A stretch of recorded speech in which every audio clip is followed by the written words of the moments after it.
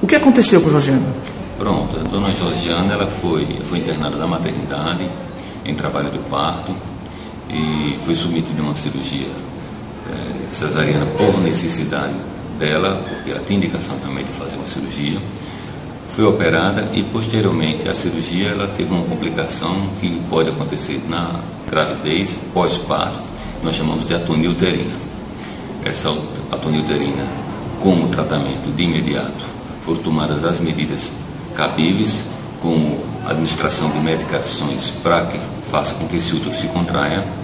Ela teve uma complicação que também pode acontecer durante a gravidez, durante o pós-parto, que foi uma, uma situação hematológica que nós chamamos de coagulação intravascular disseminada, que é uma complicação também extremamente grave, muito grave, com alto índice de mortalidade materna. Com certeza, a atonia uterina é uma situação que também acontece durante o pós-parto e assim, ela não é comum, mas pode acontecer e com certeza há casos também que quando você não consegue fazer o tratamento de forma adequada, muitas vezes essa atonia pode levar também a óbito materno.